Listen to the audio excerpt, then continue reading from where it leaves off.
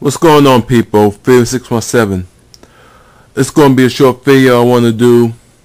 I want to talk about this very sad tragedy happened in Colorado during this past weekend. Uh, this happened the midnight screening of the brand new Batman movie that just came out in the theaters. The Dark Knight Rising. It's the final trilogy of the Batman movie, you know, directed by Christopher Nolan. Look, like I said, this is a very sad tragedy that just happened. When this story breaks out, it went nationwide, and all of us YouTube fans, you know, celebrities, you know, families and friends, you know, we all shocked about this. And like I said, it's very fucking sad. Here's what happened. Some dumbass with the bulletproof vest and I think he was wearing a gas mask, you know, some shit he was wearing. I don't give a fuck. Alright. This guy threw tear gas in the theater while people was watching the movie.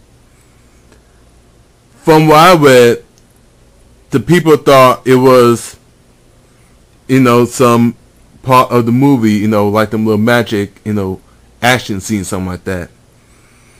But people, you know, start to realize that, you know, you know, they in danger when my man he starts shooting up the place. What's very sad about, you know, what's very sad about the story? Got kids in there, you know, young teenagers, adults you know, like all ages in the in the theater watching their favorite superhero that everybody grew up with. This man, when he went and shoot up the place, he injured around 50 or 60 people. He killed 12 innocent people earlier, I finally seen the victims of the people that he killed. You know, what really hurts me, one of the people that he killed was a six-year-old child. A six-year-old child!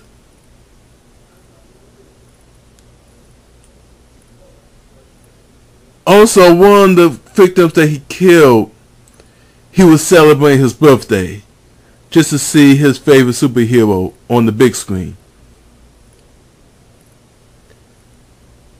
My man was born on his birthday. It is very fucking sad that he died on his birthday. You know, like I said, people, this is a very sad, you know, story that just happened in Colorado. I'm glad the police finally arrest this sick ass motherfucker.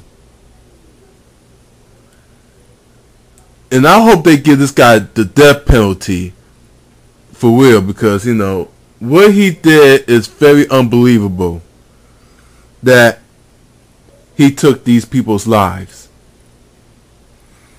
And all the people that's injured, they fighting to survive.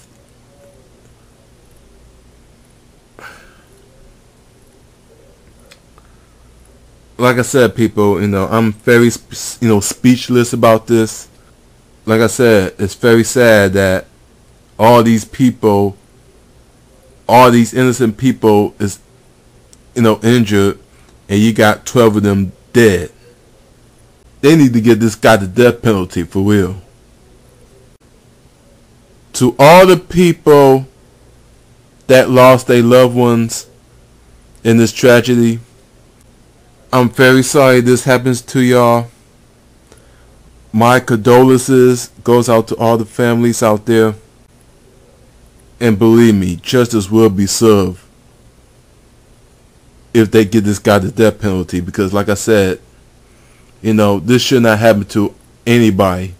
Like I said, my hearts and my prayers goes out to these victims, to all their families that lost their loved ones. It's going to be hunting them, you know, for the rest of their lives.